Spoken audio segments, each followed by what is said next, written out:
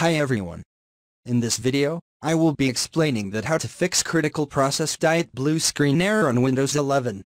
You might be getting a blue screen on your computer that says your PC ran into a problem and need to restart. We are just collecting some error info and then we will restart for you. So there can be two different scenarios number.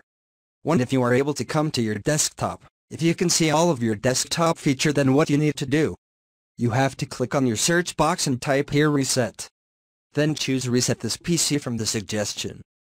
And here you will see an option of advanced startup. So you need to click on restart now, and then again restart now.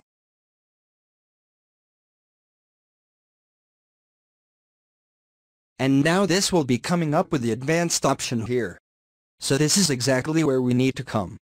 But in case if you are not able to come to your desktop and not able to use any feature then what you have to do on your laptop or on your PC press and hold the power button until the computer gets shut down.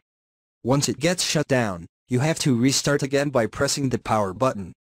And after that as soon as you see the logo of Windows on your screen again, you need to press and hold the power button to force shut down the same you have to do three times. After that again when you will restart your computer, it will be coming up with the advanced options. And you will be getting this screen where you will see all such kind of options alright. Once you come up here, you have to click on troubleshoot then click on advanced options. And then first you have to try by clicking on startup repair. So click on startup repair, and see that if this fixed the problem. And if not then again you need to come to the same options, and choose command prompt.